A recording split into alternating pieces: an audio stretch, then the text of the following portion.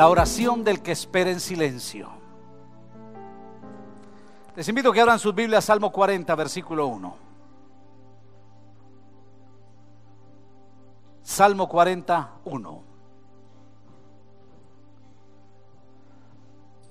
Pacientemente esperé a Jehová y se inclinó a mí y oyó mi clamor. El título de hoy, diga conmigo, la oración que espera en silencio. Aprender a esperar es un proceso difícil que requiere de tiempo, de fe, de conocimiento del carácter de Dios. Es difícil aprender a esperar. Todo intercesor debe ser alguien adiestrado en la espera.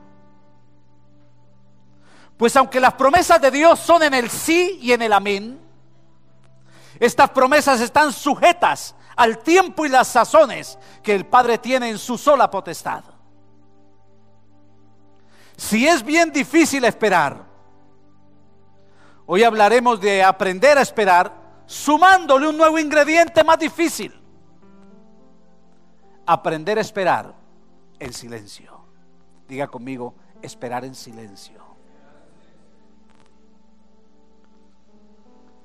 Podemos aprender a esperar en Dios teniendo el recurso de hablar. O como dirían algunos, con el derecho al pataleo. Te puede esperar hablando con Dios y, diciéndole a los hombres lo que le pasa.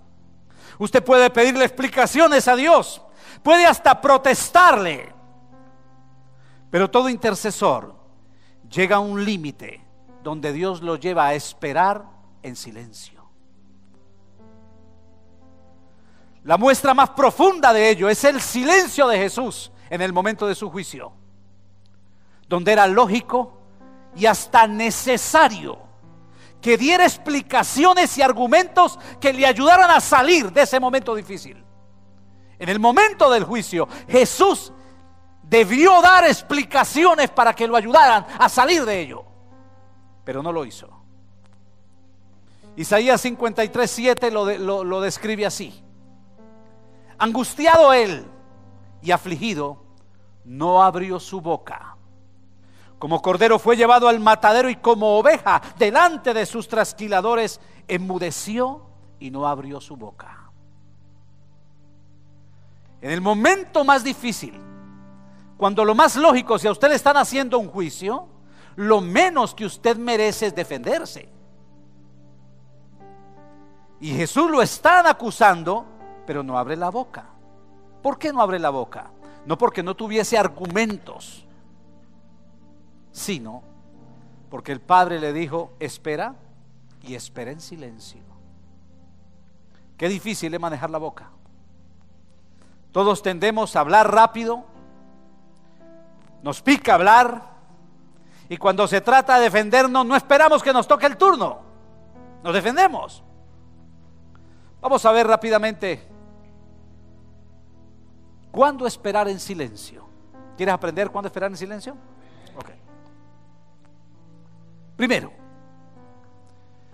espera en silencio cuando requieras conocer la voluntad de Dios. Cuando no sabes lo que tienes que hacer. Cuando no hay claridad sobre el siguiente paso. Lo que hay que hacer es esperar y espera en silencio. Salmo 25 versículos 4 y 5 dice así, muéstrame, oh Jehová, tus caminos, enséñame tus sendas, encamíname en tu verdad y enséñame, porque tú eres el Dios de mi salvación. En ti he esperado todo el día. Cuando no se tiene clara cuál es la voluntad de Dios para nuestra vida, para ese momento en particular, cuando no sabes qué camino seguir, ¿Cuántos se han encontrado así? ¿Cuántos han encontrado así? Que no saben qué camino seguir. A veces porque no hay ningún camino. Otras veces porque hay demasiados caminos, demasiadas puertas abiertas. Y usted dice, ¿cuál será? Es allí donde lo más sabio es esperar en silencio. Hablar y actuar sin la seguridad de lo que Dios desea de nosotros. No solo es entrar en el peligro de una voluntad permisiva, sino que podríamos cometer el error de hablar y enlazarnos con los dichos de nuestra boca. La Biblia dice, te verás enlazado con los dichos de tu boca. Y en un momento en que no sabes qué hacer, comenzar a hablar, yo creo, voy a hacer tonterías que a la final no las hacemos porque respetamos a Dios. Pero el solo hecho de decirlo autorizó para que las tinieblas establezcan patrones que te ayuden a tu conducta. Y eso te puede llevar al abismo. Es decir, tú le estarías diciendo al diablo cuál es el mejor camino para ti, porque cuando estás en esa presión, no habla tu sabiduría espiritual, sino tu ansia de conocer lo que quieres. Y entonces dice, si tuviera, si pasara, si esto, y el diablo dice, está pidiendo que pase, hagamos que pase. Y se abren puertas que parecen santas y son de perdición. Dile al que está a tu lado, cuando no sepas cuál es la voluntad de Dios, espera en silencio.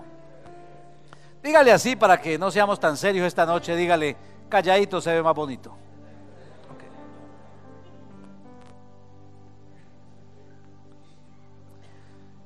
Actuar sin saber la voluntad de Dios es como meterle el tiro al tambor de la pistola y jugar a la ruleta rusa. Hacer lo que por un momento crees que es bueno, sin la seguridad de que Dios te lo ha dicho, podría arruinar tu vida una sola decisión. En ese instante, hombres y mujeres se casaron con la equivocada y el equivocado. Por no haber esperado en silencio. Segundo, estamos hablando de cuándo esperar en silencio.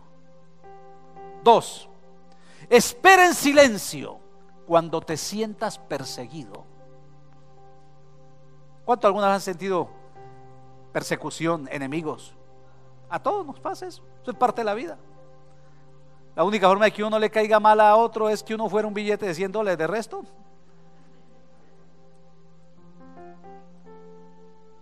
Salmo 62, versículos 5 al 8.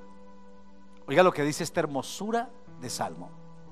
Alma mía, en Dios solamente reposa, porque de Él es mi esperanza. Él solamente es mi roca y mi salvación es mi refugio, no resbalaré. En Dios está mi salvación y mi gloria. En Dios está mi roca fuerte y mi refugio. Y entonces mire lo que dice el 8. Esperad en Él en todo tiempo, oh pueblos. Derramad delante de Él vuestro corazón. Dios es nuestro refugio. Sentirnos perseguidos o en peligro debe llevarnos a esperar en silencio. ¿Para qué? Para que sea la mano de Dios lo que nos proteja y nos defienda. Cuando estamos en medio de peligros, de persecuciones, de tiempos difíciles, de enemigos, solemos comenzar a hablar para buscar la ayuda de los hombres. Pero escúchame, cuando encuentras en ese momento un hombre que te ayude, Podría ser un auxilio, sí, pero también tu momento podría entregarte en manos de tus auxiliadores y podrían ser tus auxiliadores peores que tus enemigos.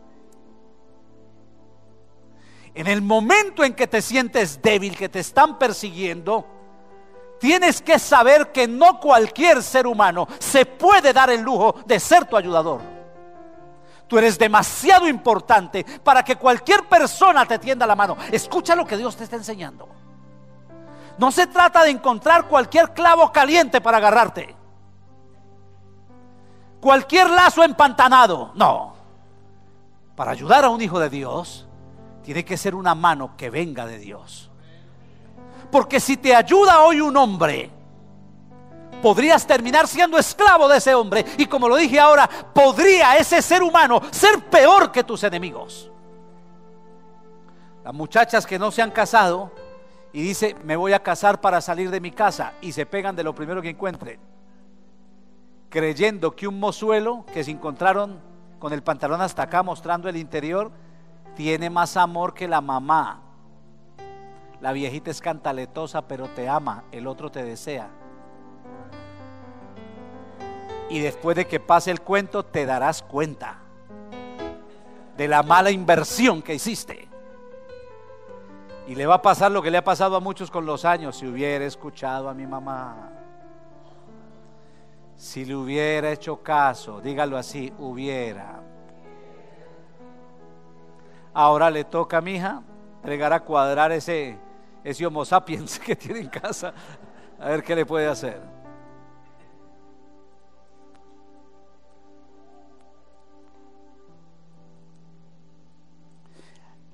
También cuando nos sentimos perseguidos, abrimos la boca. Y hacemos declaraciones con nuestros labios que suelen ser la autorización para que Satanás haga planes en contra de nosotros. A mí nunca me han querido. A mí me han dejado solo. A mí me hicieron. A mí, a mí. Toda esa declaración va a hacer que el diablo ponga en tu momento de crisis las personas más inadecuadas o las oportunidades más desastrosas para que tú tratando de salir de tu persecución te metas en un hoyo peor. Yo prefiero sentir los pasos de animal gigante atrás, es decir, un león persiguiéndome atrás y tener la oportunidad de correr, que no sentir el león y estar metido en un hueco, que es lo que el diablo quiere. Te quita el león y te mete a un hueco donde te va a acabar y te va a destruir. Mientras que mientras yo tenga oportunidad de correr, voy a correr a su presencia. Y en su presencia Él me va a auxiliar, Él me va a bendecir y me va a dar la salvación y me va a socorrer en medio de la aflicción. ¿Cuándo esperar en silencio? Tercero, diga que está a su lado. Espera en silencio cuando tengas una promesa.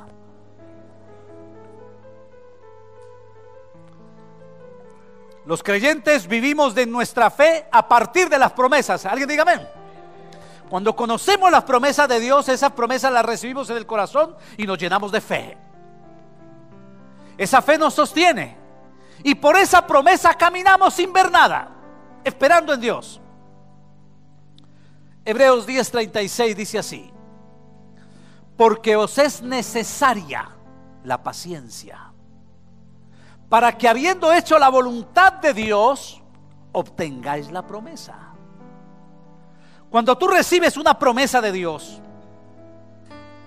la espera en silencio es tomada por Dios como fe. Escúchame, fe. Decir, Dios te da una promesa y hay dos cosas que debes hacer para que Dios interprete fe en ti. Dos cosas. La primera, si estás aquí, Dios te da una promesa y te dice, camina. Da el siguiente paso. ¿Qué es lo que Dios espera que tú hagas? Que dé el paso. Si lo das, no, pero es que ¿cómo lo voy a dar? Que ahí hay un hueco que me voy. Délo, le dice Dios. Si usted lo da, eso se llama fe. Pero hay otra forma. Y es cuando Dios te dice, tengo una promesa. Y Dios le dice, y usted le dice, ¿qué tengo que hacer? Y Dios le dice, nada. Ok, Señor. Yo esperaré. Díganme. Yo voy a esperar.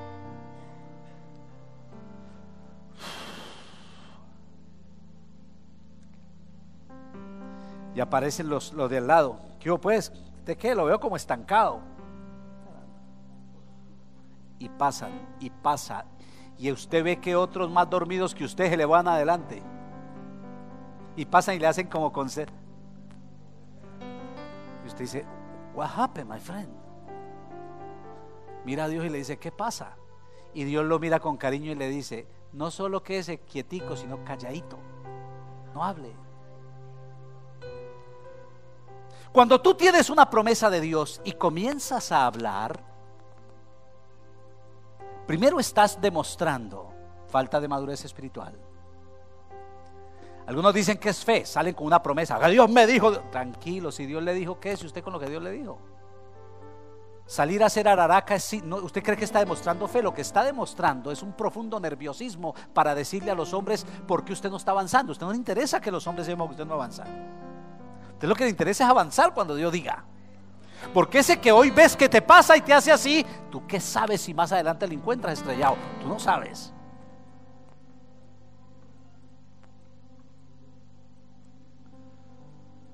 Ese silencio en medio de la promesa es síntoma de madurez espiritual. No es un silencio del que no quiere hacer nada, sino del que queriendo no lo hace.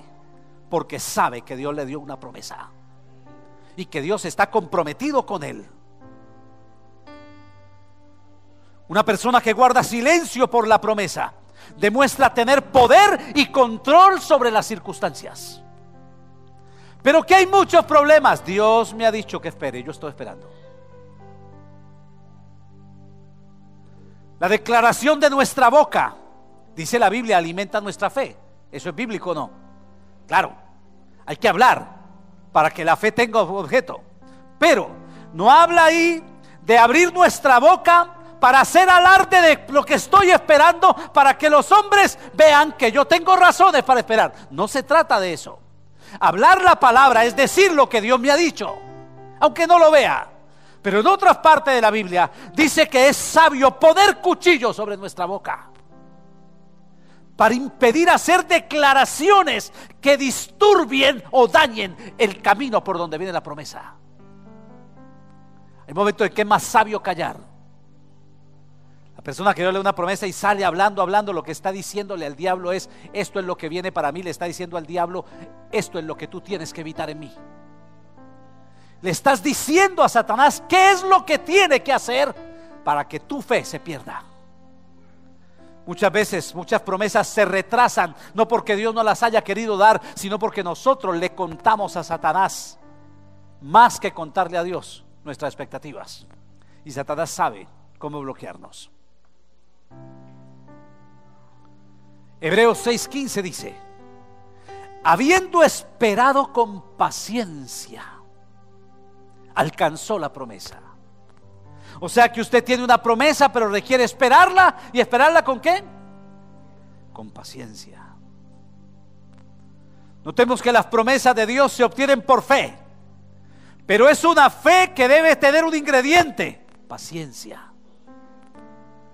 Si Satanás no logra que tú desistas de lo que Dios te ha prometido, el único paso que le queda al diablo para robarte, ¿sabe cuál es? Lograr que abras tu boca abres tu boca para que tu declaración bloquee lo que Dios te ha prometido. Le estás dando a Satanás con tus labios la carta de navegación para que detenga la bendición tuya. Si Dios te dio una promesa, guarda silencio. Habla con Dios en privado y deja que sea Dios quien obre. Muchas veces hablamos para quedar bien con los hombres o también hablamos a ver si ayudamos a Dios a ver si con lo que le digo a este, este me ayuda a la promesa. No, si Dios lo prometió, Dios lo hace. Diga esa, esa frase de alta filosofía esquinera, diga, si Dios lo prometió, Dios lo hace. Si tengo tanto afán de contar para ver cómo alguien me ayuda, es porque no tengo seguridad que fue Dios. Seguimos. Cuarto. Cuando esperar en silencio? Diga que está a su lado. Espera en silencio cuando hayas sembrado una semilla.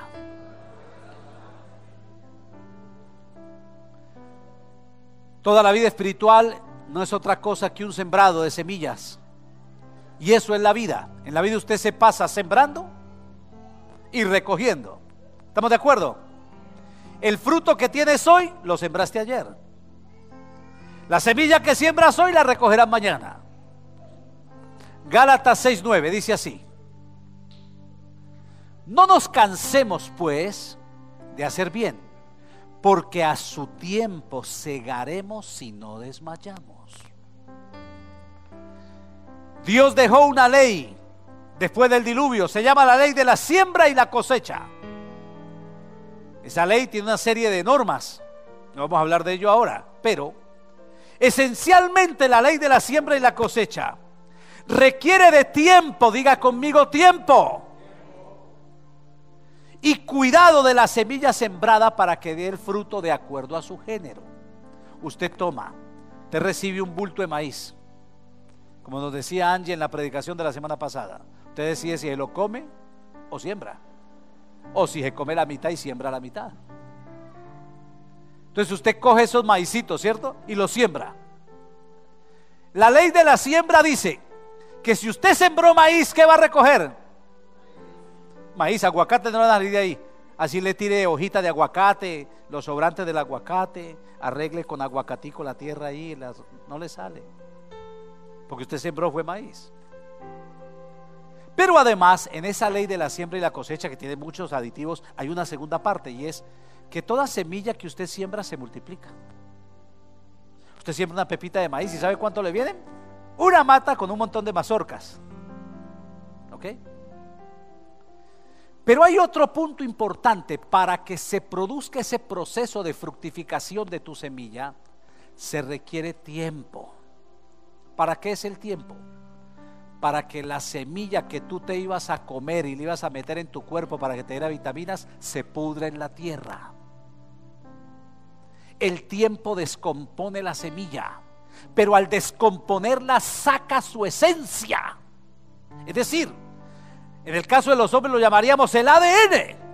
La información genética que tiene esa semilla sale por podrirse. Eso solo ocurre con el tiempo.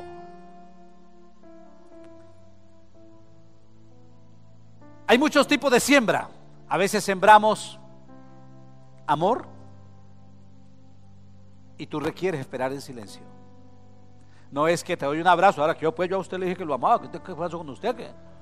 Espere, hermano. Apenas está tirando la semillita y ya está esperando comer de ahí. Despacio. Siempre con humildad. Y espere, diga conmigo, espere. ¿Se puede sembrar dinero? No como el chavo del 8 que sembraba una matera de monedas para que le saliera. Mientras la chilindrina se le robaba las monedas por la noche. Sino sembrar dinero. Es decir, si yo ayudo a una persona, eso me va a dar fruto. Pero madre, mira que yo, yo aquí le sembré a este 3 dólares, le sembré el café en la iglesia y como no me ha venido el carro que estoy pidiendo. Despacio. Despacio, que no hay tanta productividad de un corazón tan mezquino. Despacio. Dios le dice, tranquilo, yo te voy a devolver, tal vez no a ti, tal vez a tus nietos.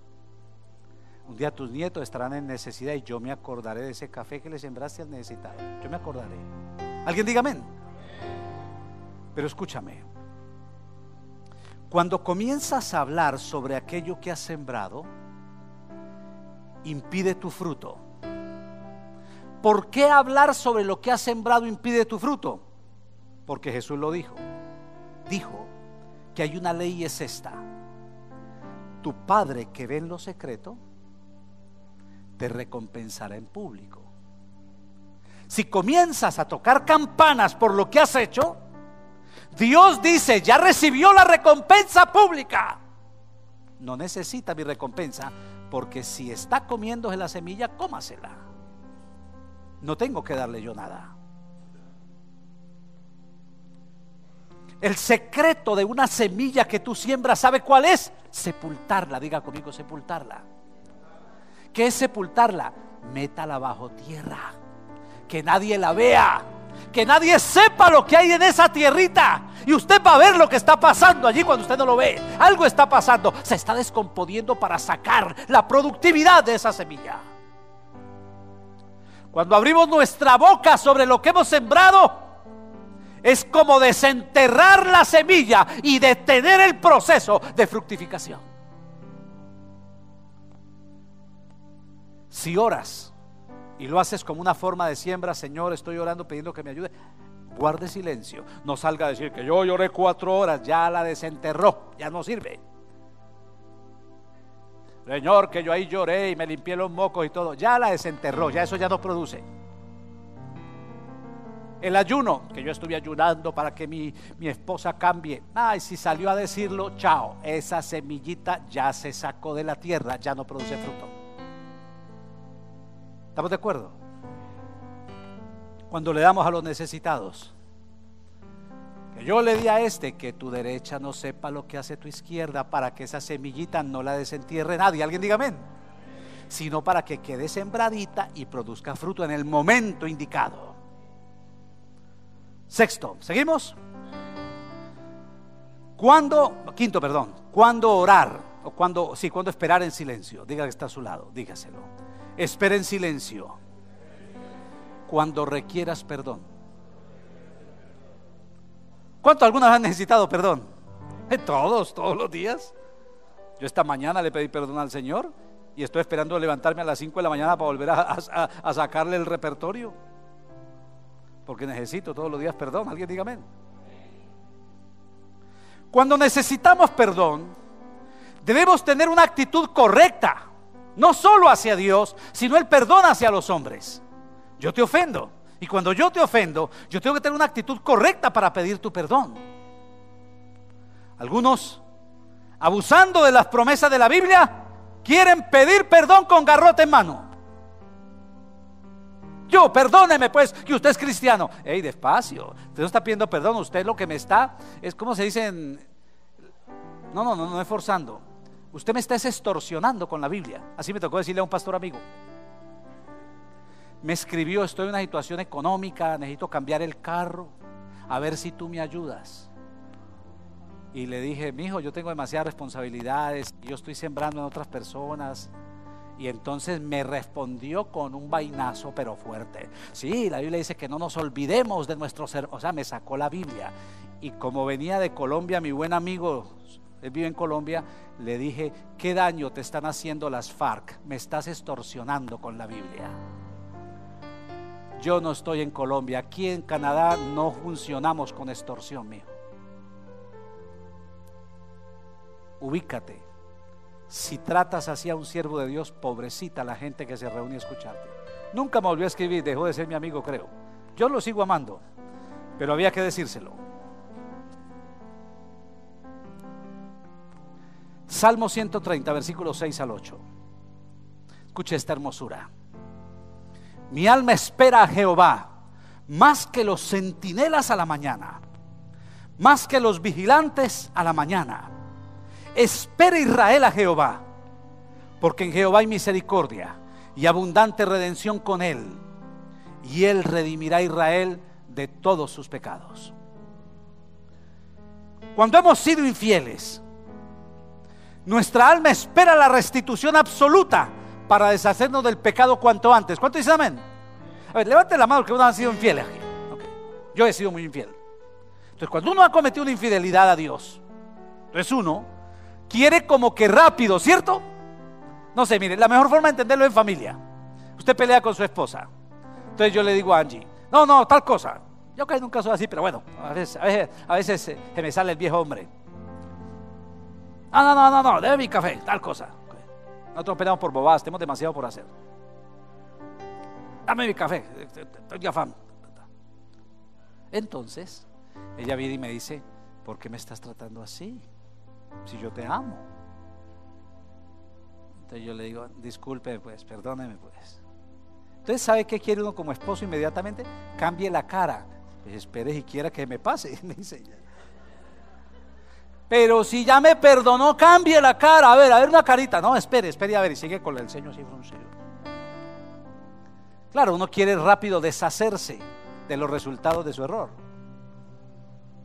Y hay que darle tiempo. Nuestra alma cuando pecamos es igual. Queremos, Señor, rápido, rápido, restitúyeme. Dígale así, diga, despacio.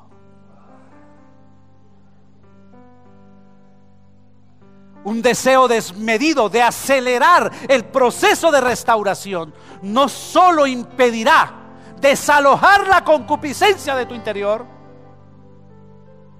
sino que demuestra un falso arrepentimiento. Señor, Señor, que yo estoy en Cristo, que Dios despacio. ¿Por qué Dios va despacio? Le voy a explicar por qué va despacio. No porque Dios te quiere humillar por haber pecado. Dios no es así, Dios es muy amoroso.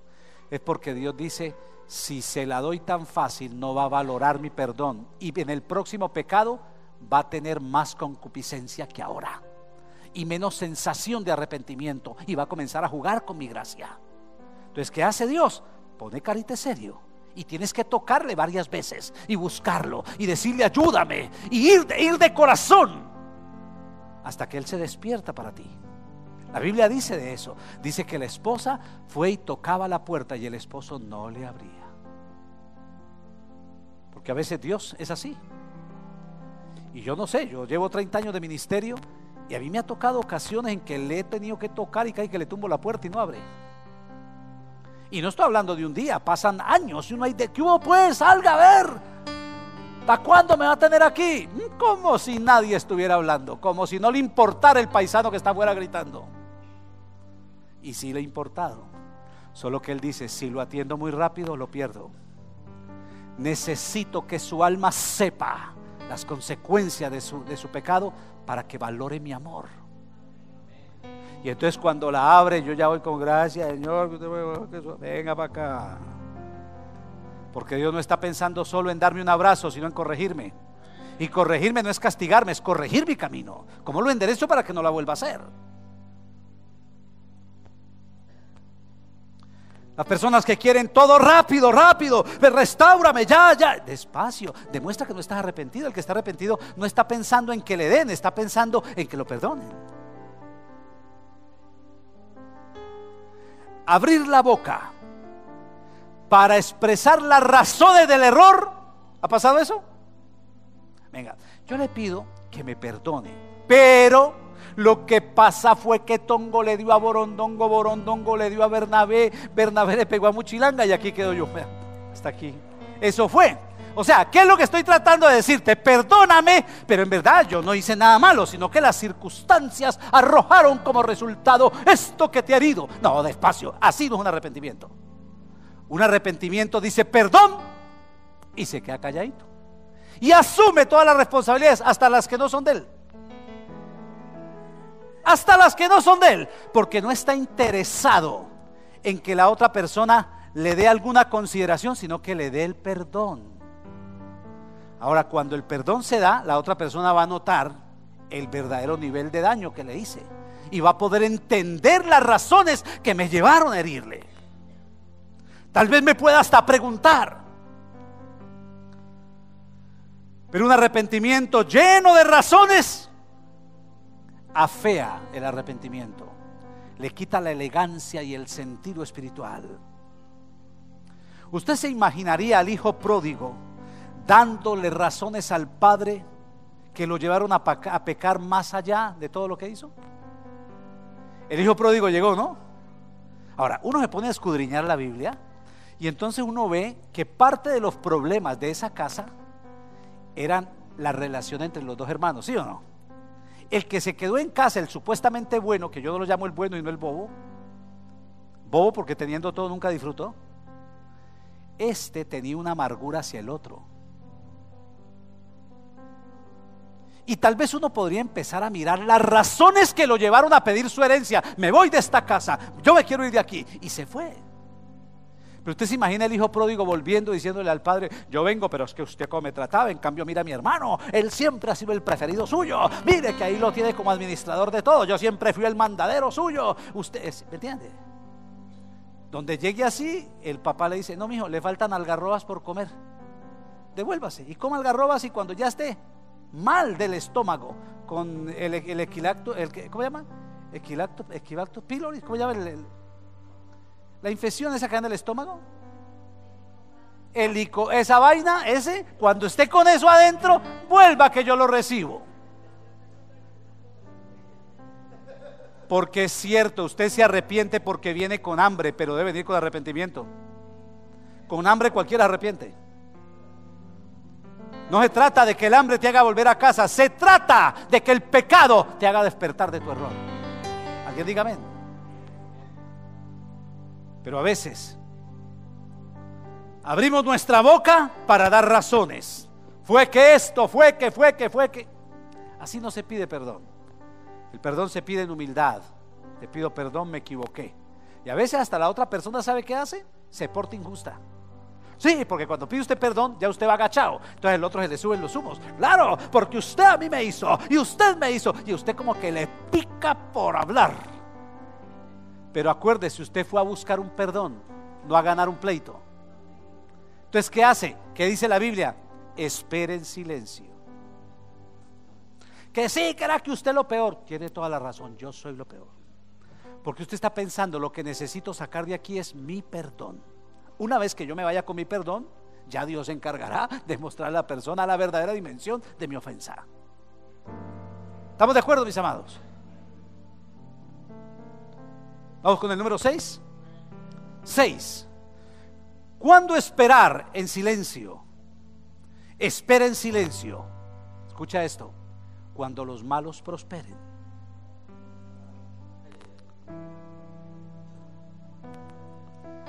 ¿A cuánto les ha pasado de ver a los malos prosperar? Gente que maneja mal. O sea, usted bregando a hacerla bien y ellos la hacen mal. ¿Y sabe qué? A usted le va mal y a ellos le va bien. ¿Les, pasa o no? Dice, pero este como es sinvergüenza, ladrón, lo que le hace a la esposa, lo que le hace al esposo, mire cómo son. Y mire cómo le va de bien. Y uno bregando delante de Dios, ayunando hasta siete días. Y mire los problemas que me vienen. ¿Pasa eso o no? Diga el que está a su lado, en esos momentos, calladito se ve más bonito. Salmo 37, 7. Guarda silencio ante Jehová y espera en él. Pero escuche lo que dice. No te alteres con motivo del que prospera en su camino por el hombre que hace maldades. Diga que está a su lado, no se altere.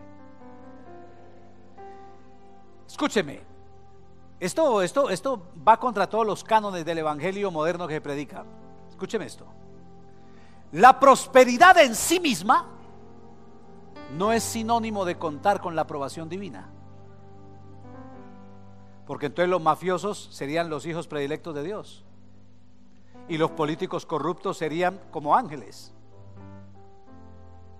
¿Se puede prosperar en la tierra? En maldad y en injusticia. Claro que sí.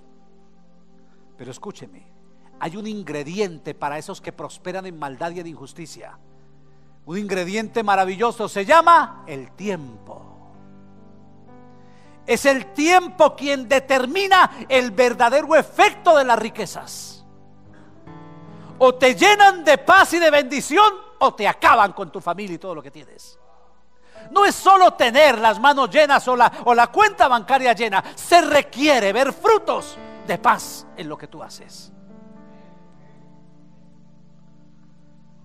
La prosperidad de los infieles suele desconcertar, desilusionar y hasta amargar a los justos y santos cristianos. En esos momentos, lo más productivo, cuando te sientas hasta amargado de que le va bien a ese otro maloso, lo más productivo es que ese calladito. Porque en tu silencio comprometes a Dios en tu causa. Casi que obligas a Dios a que meta la mano para sacar la cara por ti.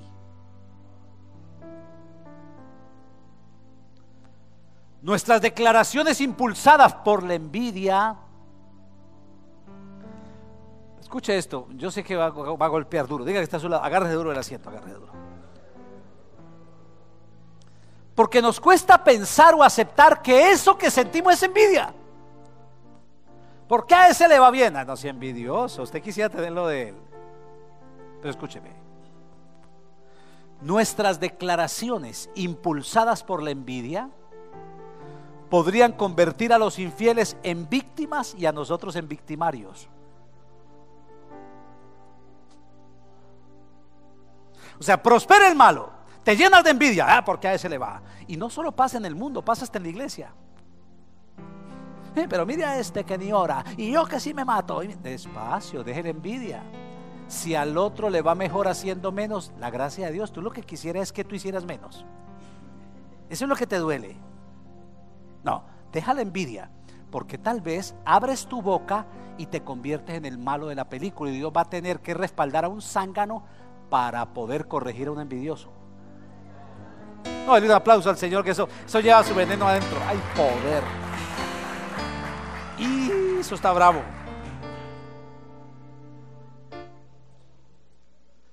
Esperar en silencio el desenlace de los malos agolpa sobre nosotros unas expectativas de compensación divina.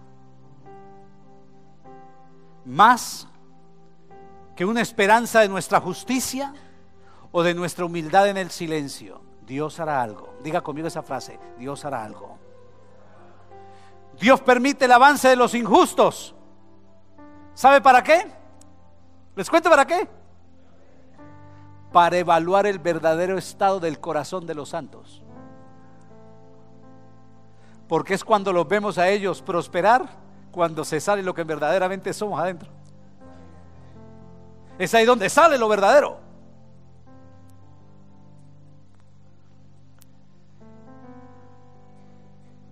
Y cuando Dios sabe lo que hacemos por la prosperidad de otros, entiende lo que haríamos cuando tengamos nuestra propia prosperidad. Porque si te duele que un injusto sea próspero, cuando tú seas próspero, vas a humillar y a sacarle en cara a los que no son prósperos. Es por eso que Dios te dice, espera en silencio.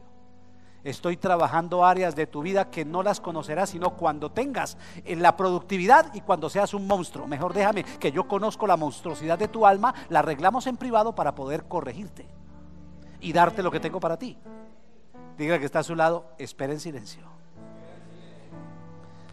Y vamos con la séptima, séptimo momento, ocasión en que debemos esperar en silencio. Dígale que está a su lado, espera en silencio. Esta es la más brava. Dígale, espera en silencio. Cuando esté desesperado. ¿Cuántos aquí algunos han estado desesperados? Ok. ¿Qué hago en esta desesperación? Y Dios dice, espera en silencio. El Salmo 40 es una descripción maravillosa de alguien que está desesperado. Pero escuche cómo lo vivió. Salmo 40, versículos 1 al 3. Pacientemente esperé a Jehová. Se inclinó a mí y oyó mi clamor. Escuche. Esperar en Dios requiere paciencia. Aunque a ti te cueste trabajo entenderlo, Dios no se mueve por tu ansiedad o por tu descontrol emocional. Señor, que no puedo más. Dios dice, mm, llévenlo para el hospital, pero yo no puedo manejar mi carácter porque usted perdió el control. Señor, si no haces algo me suicido. Mm, se pierde la salvación. ¿Qué puedo hacer yo? Aquí estoy dando señas. Espere. Porque nosotros tenemos niños mimados y malcriados y queremos que Dios sea un padre también que nos tenga como hijos malcriados. Dios no va a levantar hijos malcriados. Dios va a corregir hijos malcriados nos va a poner en orden. A Dios le duele el dolor de sus hijos. ¿Cuántos saben eso? ¿Cuántos saben que a Dios le duele que un hijo sufra? Claro. Pero nunca hasta el límite de ser manipulado por sus rabietas o exigencias. Si no me das esto, Dios dice, mm, el universo, ya usted me manipuló el universo. O sea, que el día que diga, si no apaga el sol, yo me enojo, entonces tengo que apagar el sol.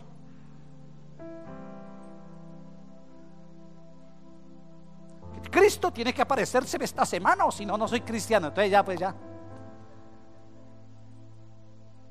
No, Dios no puede jugar así con, con, la, con la inmadurez y la inconsistencia emocional de sus hijos. Mire el caso de Jonás. Jonás no quería ir donde Dios le dijo. Dios lo obligó a ir y cuando fue hizo lo que Dios dijo y no pasó nada de lo que Dios había prometido. Y sale ese hombre pero bravo pero dice que estaba enojado. Y cuando Dios lo vio como, no, no estaba aburridito y no estaba, la, expresión aquí entre los que nadie lo sepa, estaba era berraco. O sea, ¿sabe cómo lo describe él? Él le dice que está enojado hasta la muerte. O sea, estoy, estoy que mato y como del muerto. Le dijo a Dios, estoy bravo, no quiero más vivir, le dijo. Todavía iba el pobre tipo, era calvo.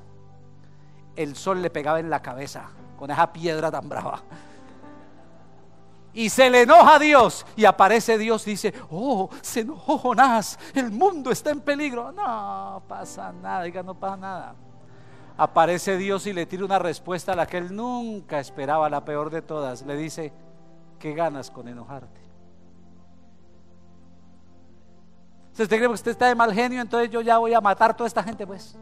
Matemos a Nínive para que usted vaya contento a decir, estoy feliz. No, mi hijo, amárguese usted, pero yo tengo que salvar a esta gente. Diga conmigo, Dios no es manipulable.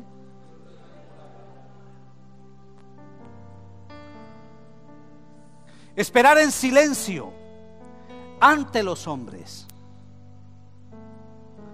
No implica estar en silencio ante Dios, no. En la angustia es necesario y productivo clamar, pero clamar a Él.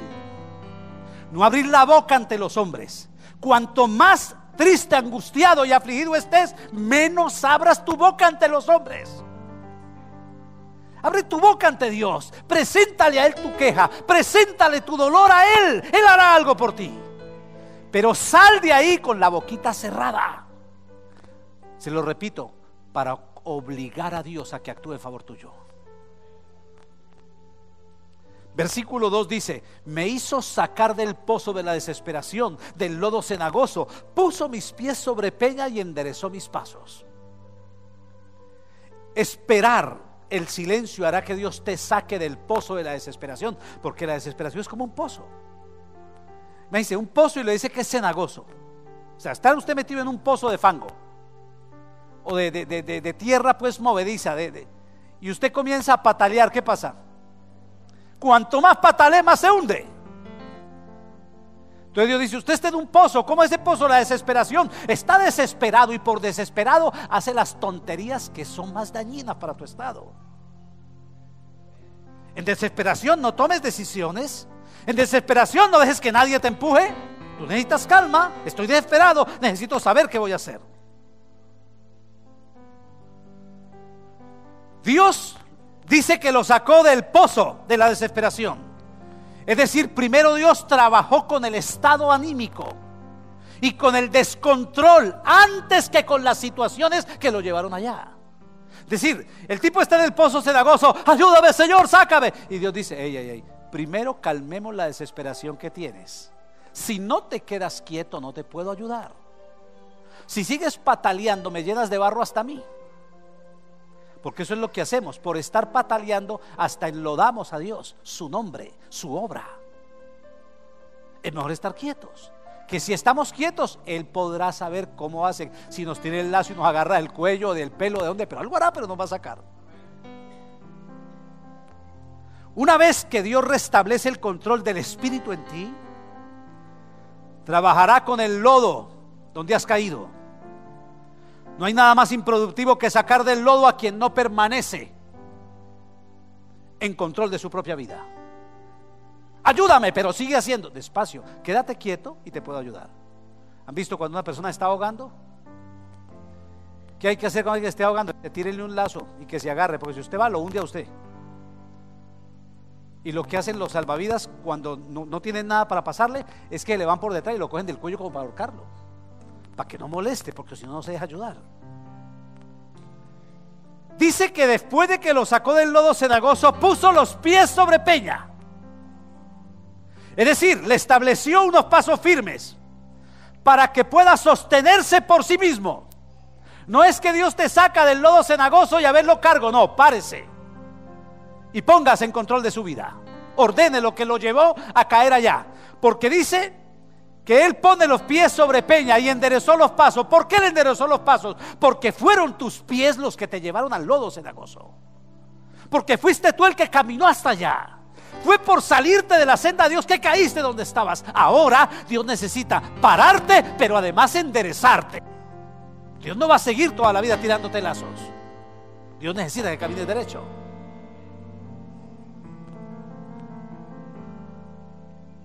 En estos casos la espera en silencio suele ser una gran herramienta para asegurar que aprendes la lección y cambias tu camino.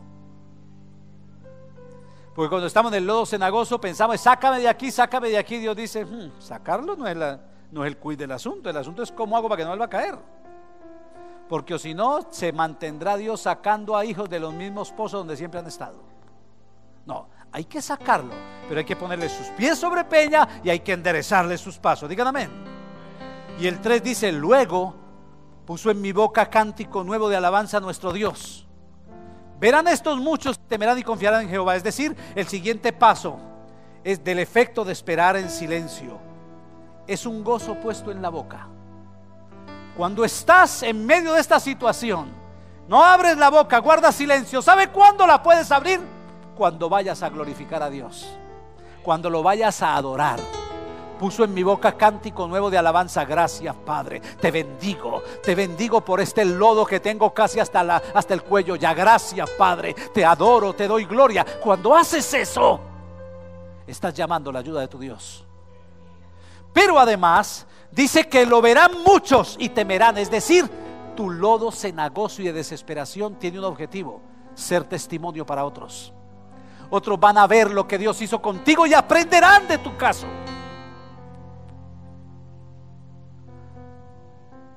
Estar en silencio ante los hombres es necesario, es seguro, es productivo.